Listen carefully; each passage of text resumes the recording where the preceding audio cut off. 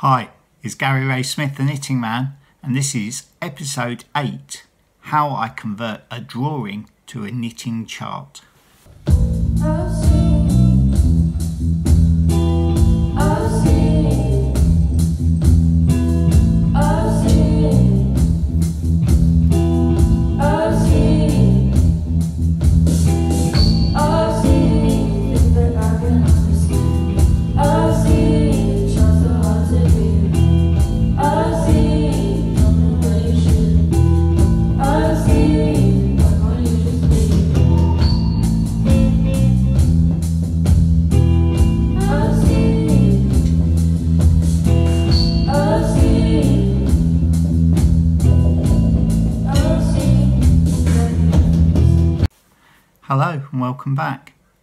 In this episode, episode 8, uh, the plan is that uh, today you will follow my progress as I transform the hare that you saw me sketching out last week. I'm going to convert that into a chart for knitting. So uh, we're going to follow that process right the way through and then later on this in this episode we'll also have an update on my um, off-piste Fair Isle vest. Uh, but first of all, um, we are going to uh, look at um, my cat um, baby blanket and um, I've done a little clip here where I show you from the initial sketch all the way through to the chart. So just so you can see the process and then later on we're going to do the process with the hare. Okay, so um, in in the last episode, we were um, I started to draw the hare, um, but since then I've sort of collated all of the stuff together. It's we're we're missing one picture, but when we get to that, I'll talk about it. So um, I've collated all the stuff um, only because it was relatively recently if I'd been able to find all the stuff. But this is all the stuff um, that is the progression of what became my last blanket, which was the cat, uh, cat in the flowers. So um, I woke up once, and I, I normally do it every Saturday morning. I sort of lay in bed and I think about um, ideas, and and then I get up and I draw an idea and I try to do it every Saturday morning. I don't know why I picked Saturday because I know obviously Saturday I won't be working. So this here, Joe, if you can come in on that, that's the first one. So I woke up on a Saturday morning and I did that drawing. So that was the first thing that I did. And then that drawing became that sketch.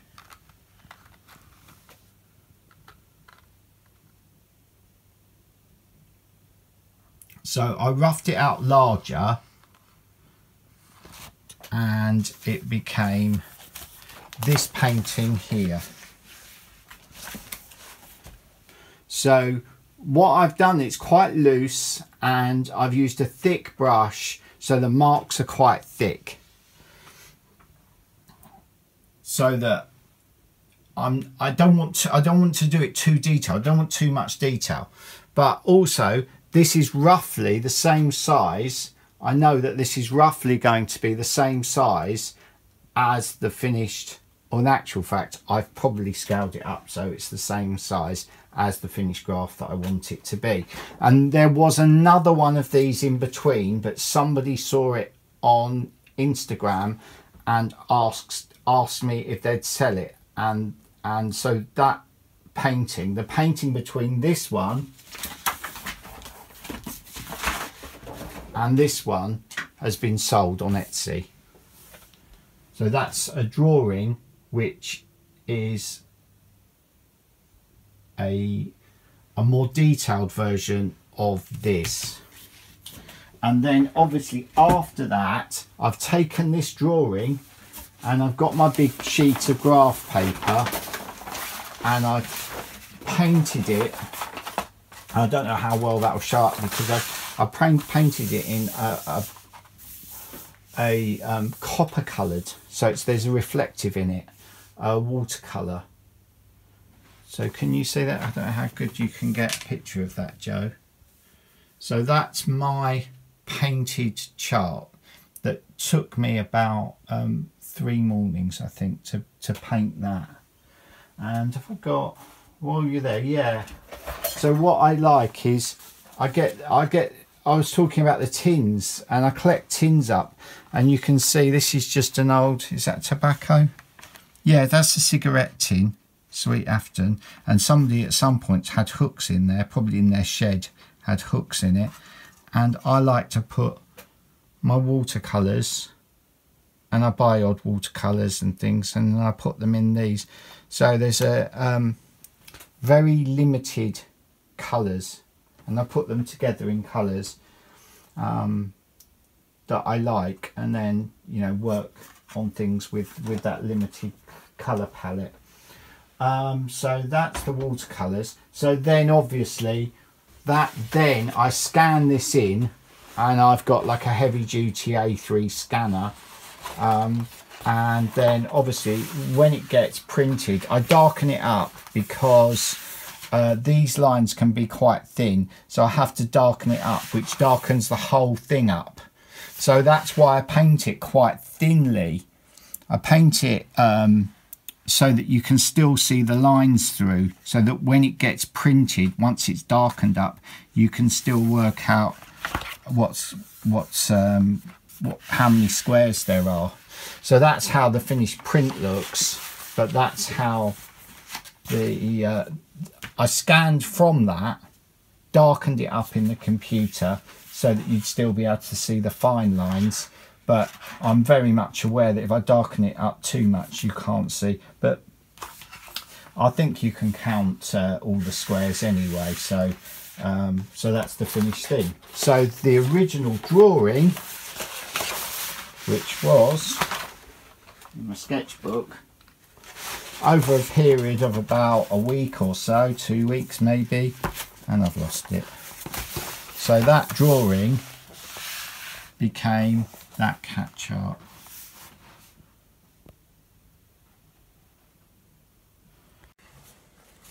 So of course what I didn't show you in that clip is uh, what the finished blanket came out like. Well you might have seen it in um, earlier episodes but if you haven't seen the earlier episodes uh, this is this is how it came out.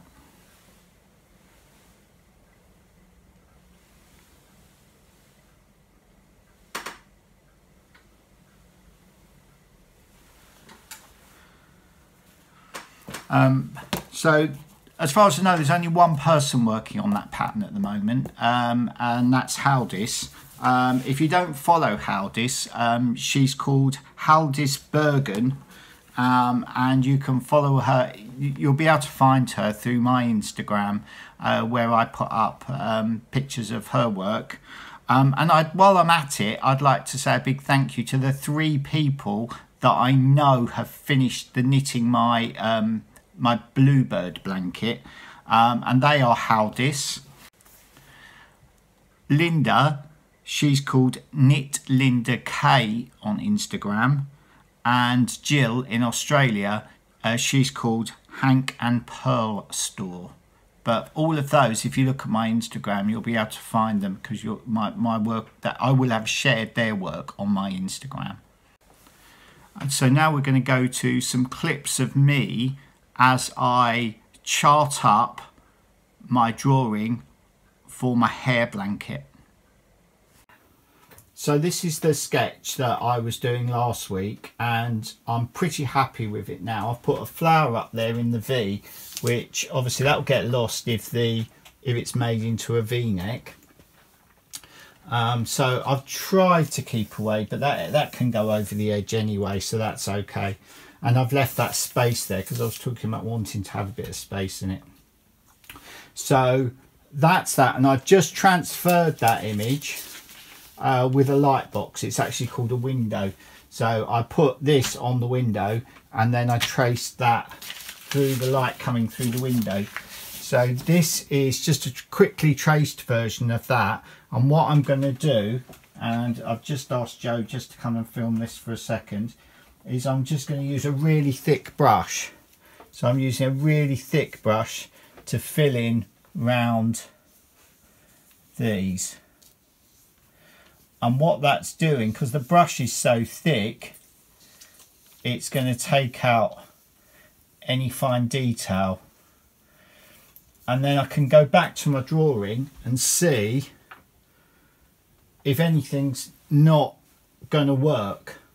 So I will then refer to this and then I'll tidy up this drawing um, before I transfer it onto the graph paper so if you just want to just watch me do a bit of painting then that would be fine Joe.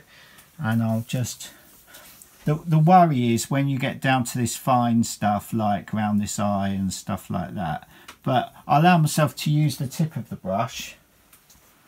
So you know with this mouth I can come in there. I can I can use the tip of the brush. I can but having a big brush to begin with is the main thing.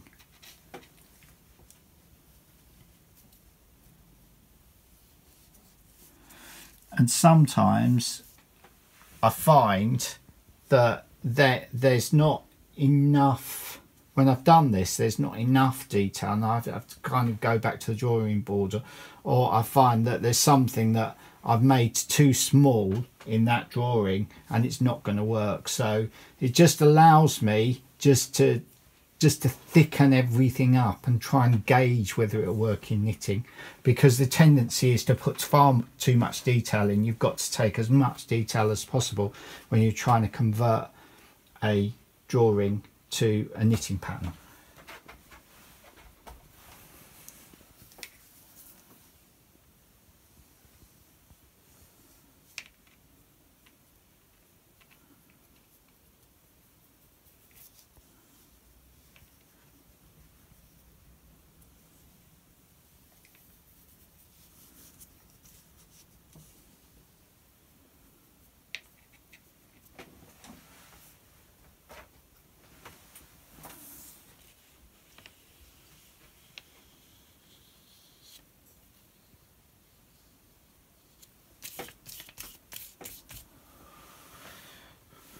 So do you get the idea there, Joe? Is that enough? Yeah? Okay, so that'll do for now. I'll come back when I've finished filling this in, yeah? Okay, so um, I'm finished there. So I'm pretty happy with that. Um, and I've not made any any real changes to this to be honest. But then again this was something that I'd previously worked on in this manner. So you know you wouldn't expect me. But but sometimes I go through lots of changes but I'm pretty happy that that is going to that's going to work that's going to be knittable. So now the next stage is that I'm going to I'm going to take this drawing the only thing that I really did was I, I felt like I needed to thicken up that line there. Um, and I've changed a couple of little minor things but not very much. So I'm now going to transfer that drawing using my window light box method onto graph paper. And then I'll ask Joe to do a little bit of filming of that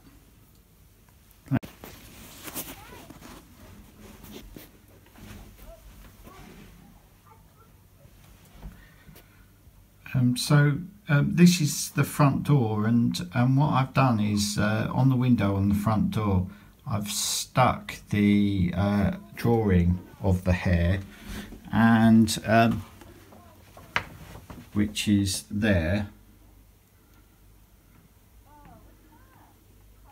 And then I've over the top I've um, lined up the graph paper. And now what I'm doing is I can see the drawing through because it's bright sunshine outside so I can see the drawing through the graph paper and I can trace the hare onto the graph paper so that's what I'm going to do now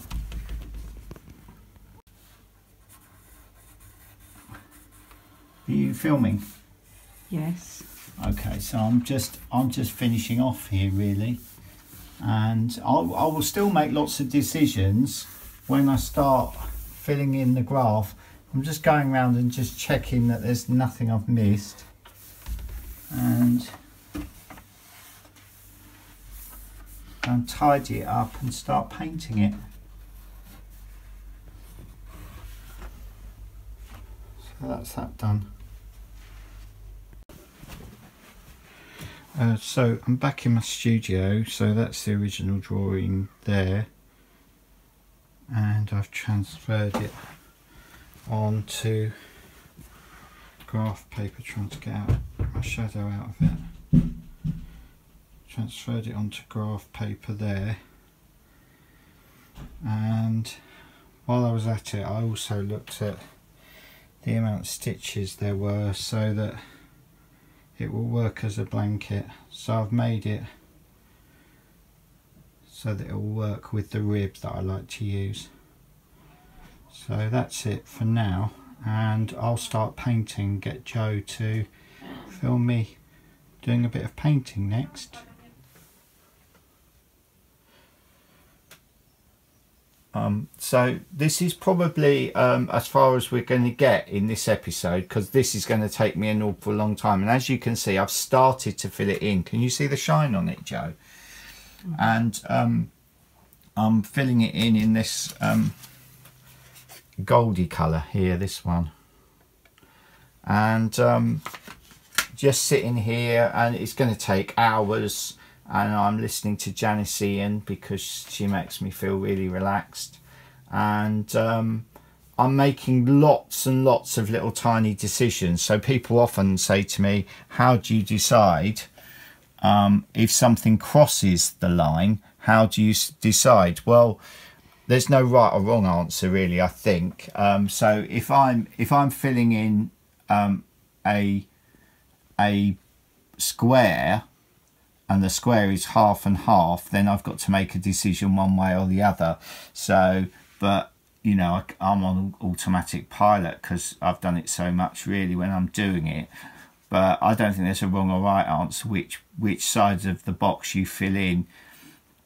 But generally, if there is more of one colour on one side of the box, then that becomes that colour. So it's just a it's just a long plod of a job really but I like it and I just completely get lost and, and just keep going for hours on hours. So next week we'll um, come back and hopefully I'll finish that chart. We're very busy this week. Um, we've got an awful lot on and you'll see in our next episode uh, why we're so busy. Um, but hopefully, yeah, when you come back next week, I'll have that chart done and uh, we can look at where we go from the, for there.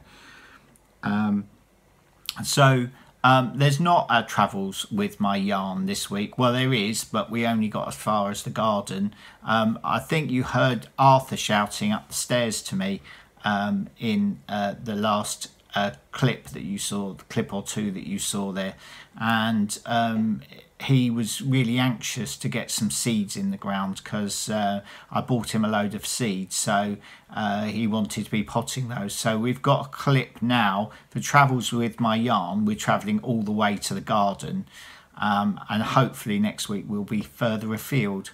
Um, so here we are, travels with my yarn in the garden, planting seeds with Arthur. That's it, not too many in each one. How are you getting on? Good. Now we're planting, what are we planting? Money maker tomatoes. tomatoes. Fine tomatoes.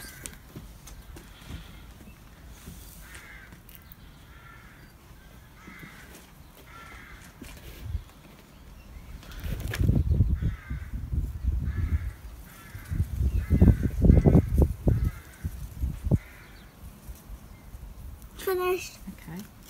What do we do now? We're going to put some earth on top of them. Okay, it's here, isn't it?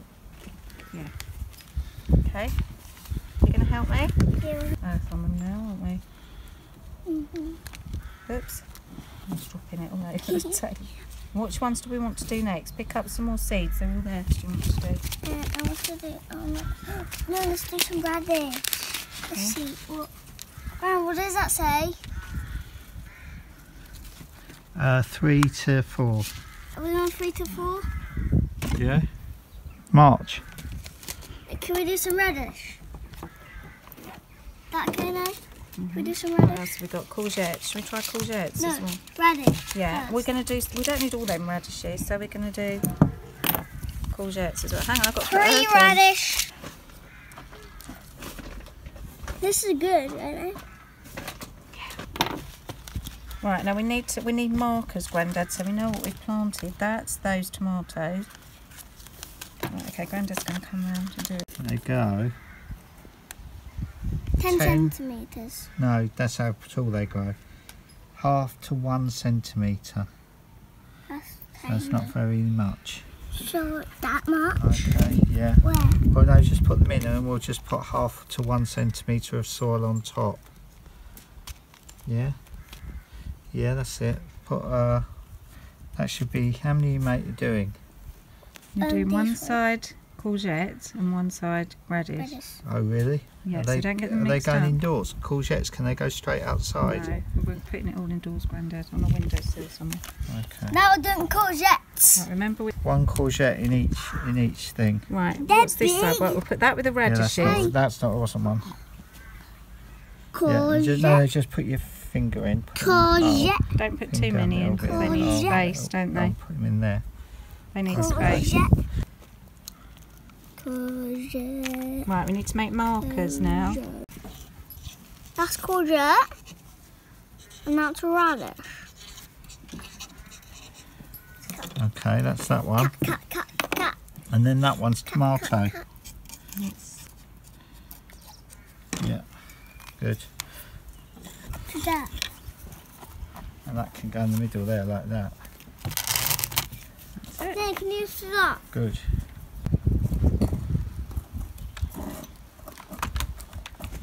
That's a bit too much. To actually get it up. Right, here they are. So you're going to put one in. Right, put one in each hole then. Oh.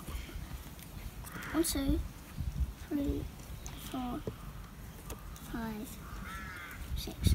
We're doing um a couple more, aren't we, Grandad? We need two more. I can see the pumpkin seeds. Okay, we'll go and get the other packet of pumpkin seeds. There's no one.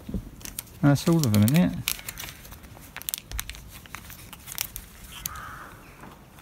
What's that, man? Go and get the other packet. That is a very short amount of pumpkin seeds.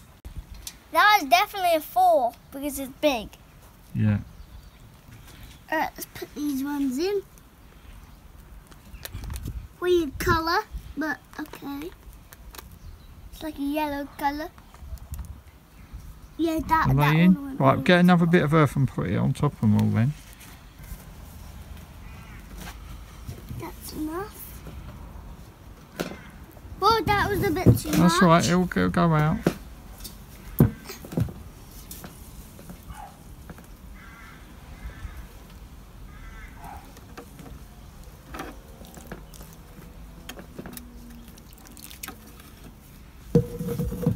All done? Yeah. Lovely. Right, they can go on the windowsill then. So there you go. That was uh, travels with my yarn for this week, and we got as far as the garden. We'll see next week how far we get. Um, you'll um, you'll see how keen Arthur is on gardening. Um, I wouldn't take too many tips. If you if you're here for gardening tips, you're probably in the wrong place, and you'd be better off at Gardener's World and looking at something by Monty Don or something. But uh, we we did our best. Uh, anyway, we're uh, oh cup of the week before we go any further. And after last week's massive cup, I've got a tiny little dainty cup this week. Burleigh Calico. Ah, quick swig.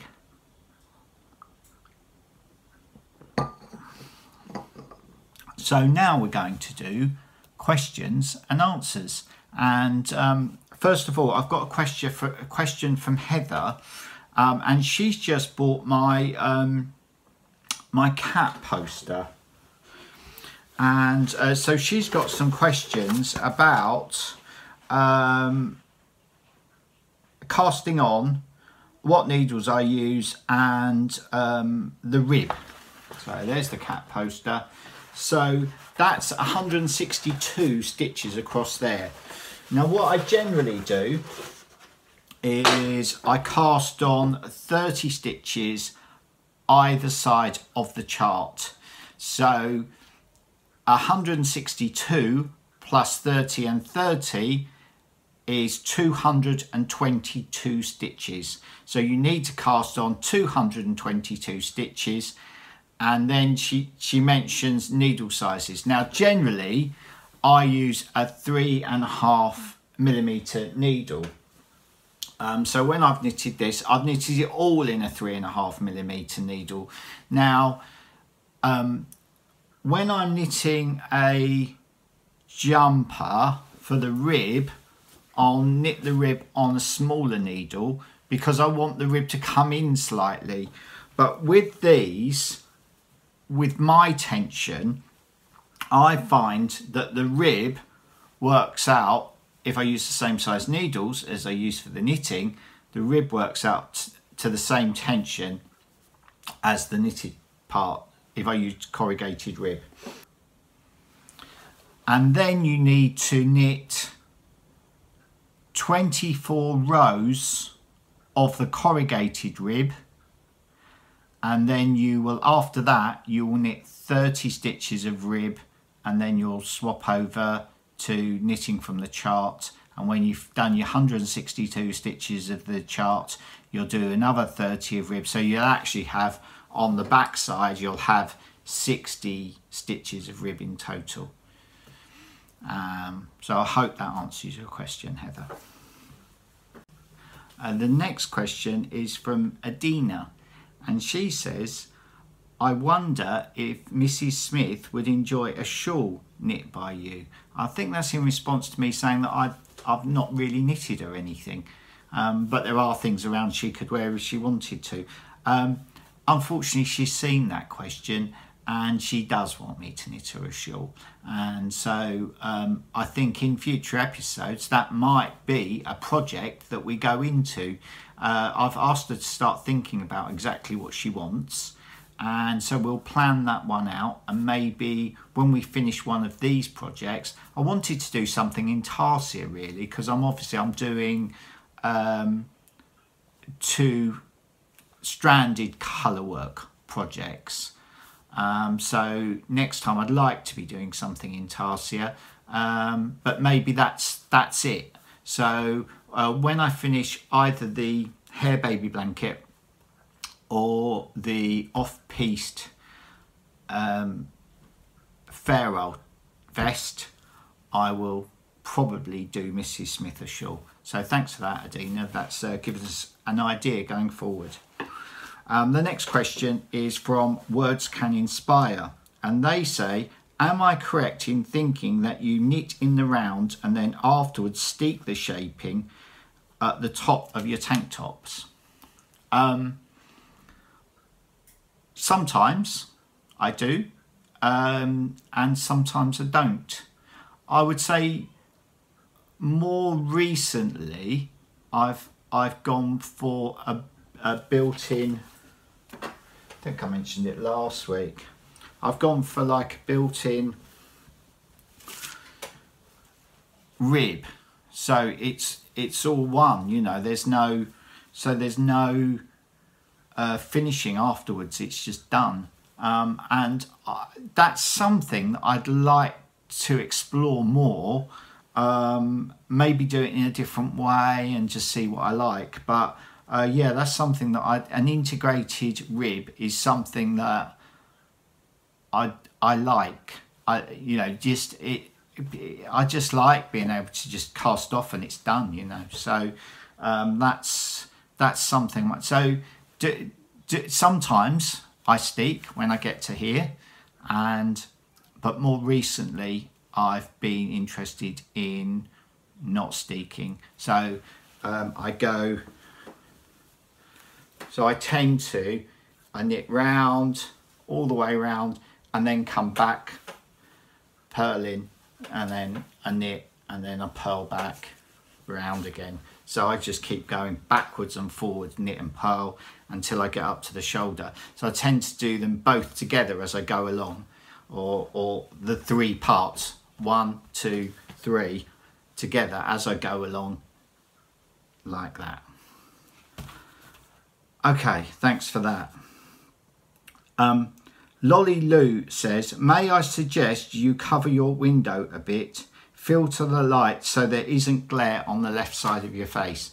And yeah, it drives me mad. It was raining about 20 minutes ago and we've got this south facing window and when it's raining I've got the blind pulled up completely here and then um, and then some some comes out and I'm squinting. It drives me mad.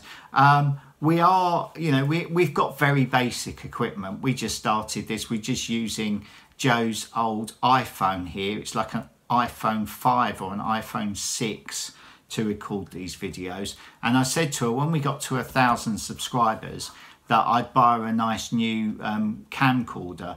But um, yeah, I haven't bought it yet. So uh, she's still waiting on that. Um, but uh, yeah, we are, yeah, we're we're using primitive technology, if you like.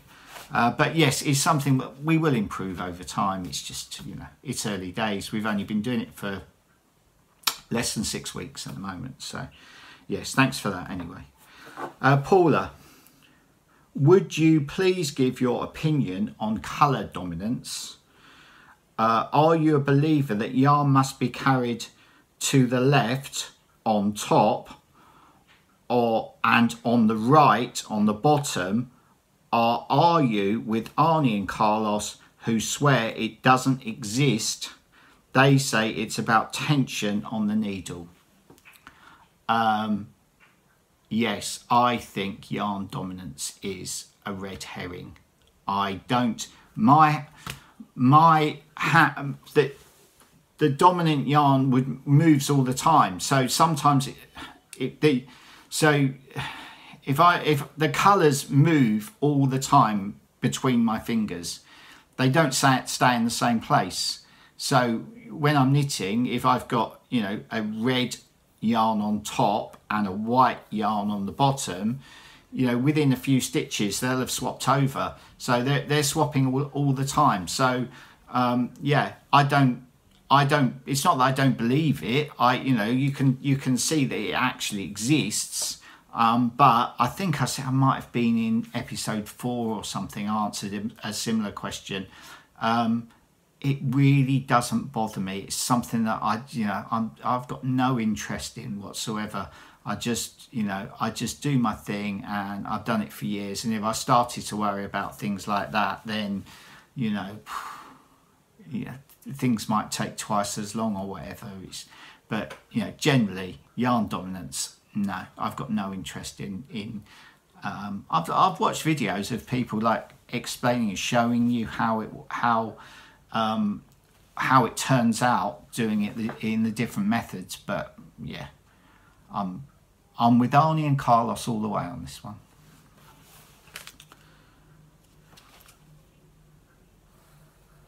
Carla, knitting with boots on, says, do you chart anything out before you start knitting? No pattern, no floats, but how do you get the motif to fit without having to rip back if you don't do some math first? And I think what she's talking about is, and I'm, I'll have to show you, sorry, I had to go and get my knitting there. So this is um, the Fair Isle vest that I'm working on and there is the join mark there. So I, I start working, which direction I'm knitting in from where you are, don't know. So I start knitting and then when I come round to there, I just, eh, wherever I am, I just stop and start the pattern anew. And down that line there, I don't care what happens. So there's going to be a seam down here. Well, it won't be a seam. You won't notice it. But there will be a seam down here where the patterns end and finish, but just on one side. So hopefully that answers that question. so last week we asked what you would like to see in future episodes and um, fortunately for me, getting my yarn back together came out on top. So it's that is a project in itself. So I've got two projects ongoing at the moment, um, which is the Fair Isle vest and the uh, hare baby blanket, but and also we've we've potentially got another project which is um, knitting a shawl for Joe. So um, and then so in the queue as well now is um, building a home for my yarn stash. So that's great. Um, and uh, Joe building IKEA shelving, flat pack shelving, uh, came second, I think. So that's great because uh, we'll do that as well in the future too. So uh, just quickly, this is the update on the um, the vest that I'm knitting. And uh, I was talking about um, last week, I'd started to do these like curves and how it started to look to me like um, egg and dart, uh, which is a, a, a pattern. And um, I've kind of continued with that and I've sort of continued with the same colours. So I'm sort of blues and greys and blacks. So that's where I am